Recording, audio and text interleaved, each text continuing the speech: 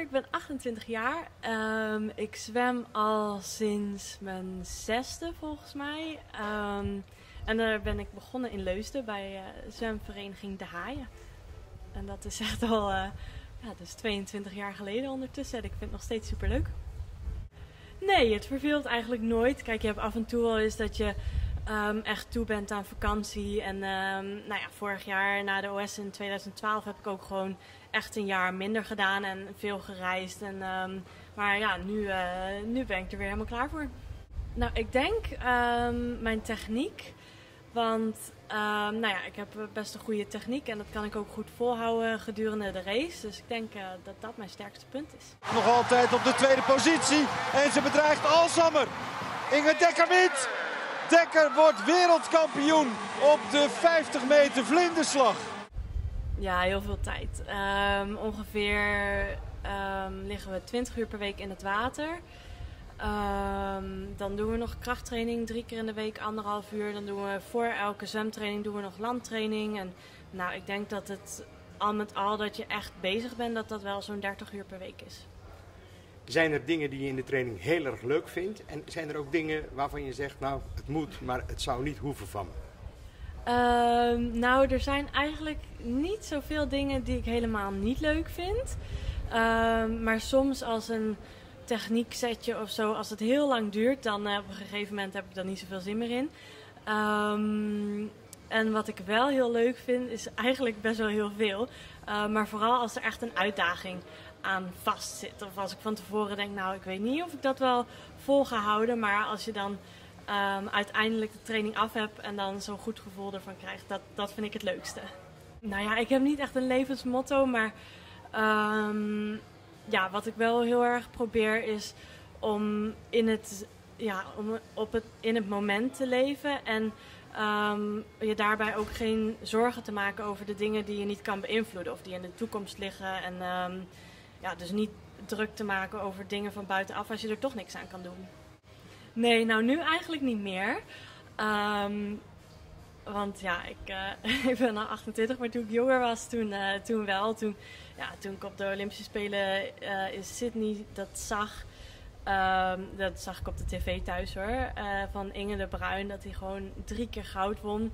Nou ja, toen dacht ik wel, ja, dat wil ik ook. En toen was dat wel echt mijn voorbeeld, ja. Maar toen, dat was, ja, toen ik echt jonger was, nu, nu heb ik dat niet meer zo. Meerdere mensen, ik denk sowieso alle trainers wel, omdat ze allemaal... Um, ja, hebben ze wat bijgedragen eigenlijk tot de zwemster die ik nu ben. Um, en ik denk ook um, mijn allereerste trainer, of nou niet mijn allereerste trainer, maar de trainer die ik had toen ik een jaar of 10, 11 was, dat was uh, Mark Liacqui van de Haaien. En dat was eigenlijk de eerste trainer die tegen mij heeft gezegd, ja je moet met een hoge elleboog zwemmen. Um, nou ja, het duurde even voordat ik uh, in de gaten had wat het precies was, maar het is wel een van mijn sterke punten, nu nog altijd. Dus uh, ja, dat was wel echt een mega goede tip. Dus, en dat heeft veel invloed gehad. Zou je die tip ook aan jonge zwemmers geven? Ja, ja zeker. Want techniek is mega belangrijk. En um, daar moet je ook altijd heel erg op focussen. En um, ja, tijdens de trainingen, nu, maakt niet uit hoeveel pijn je armen doen. Gewoon altijd proberen om het beste uit je techniek te halen. En dan, uh, ja, dan kom je een heel eind, denk ik. Ja, voor mij in de trainingen is het heel erg uh, het gevoel dat je met één slag heel veel vooruit gaat.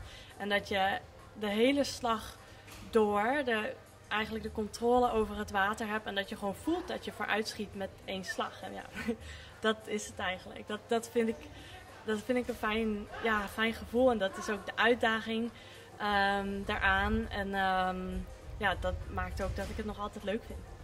Het is niet per se het winnen.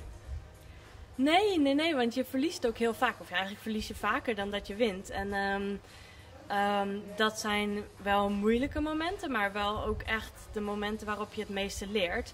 Dus uiteindelijk zijn, ja, is het op het moment zelf vervelend, maar achteraf ben je vaak blij dat je uh, die meegemaakt hebt, omdat je dan gewoon veel geleerd hebt. Heeft een zwemster van 28 ook nog dromen? Ja, ik heb heel veel dromen. Um, ja, en één daarvan is wel dat ik... Ja, ik heb drie Olympische medailles. Goud, zilver en brons. Alle drie op estafettes. Maar ik wil heel graag eentje persoonlijk erbij. Waar denk je dat je over vijf jaar bent?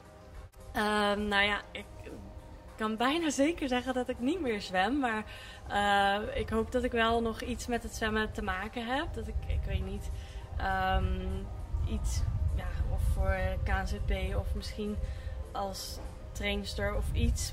Dat weet ik nog niet zeker, maar ik wil graag wel bij het zwemmen betrokken blijven.